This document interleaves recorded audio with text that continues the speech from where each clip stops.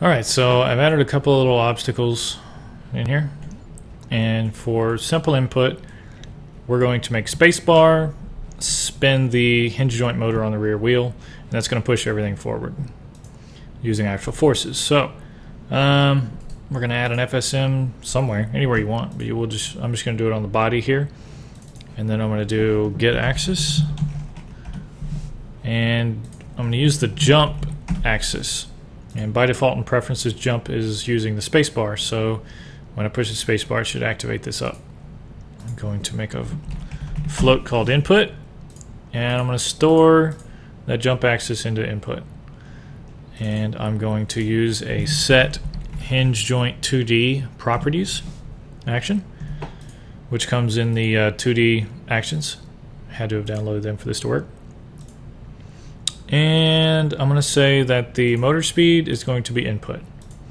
So when this thing goes up, I'm going to multiply it by 2,000 because one, one force is not going to get anything anywhere. So by 2,000, and I'm going to inject that into motor speed, and I'm going to do it every frame. So that should make this wheel spin. Let's see what happens. Whoa.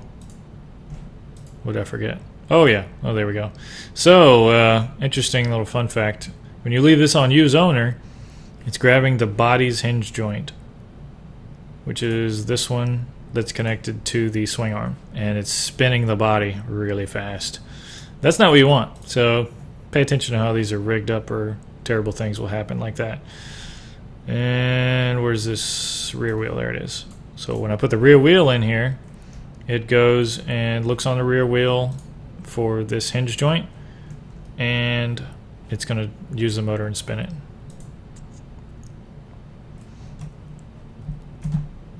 There we go. That's much more peaceful. Okay. Probably not exactly what you're looking for, but uh, it's not bad. It's a good start. You can test this out and debug it and work on different things and get it to where that this motor on this wheel will start being more like what you want.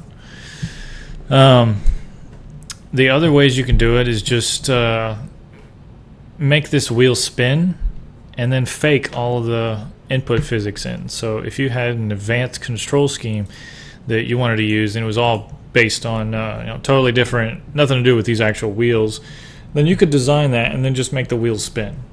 Have fake forces pushing this bike all over the place and making it look cool, but then, you know, just the suspension would be working and it wouldn't be getting its force from this wheel.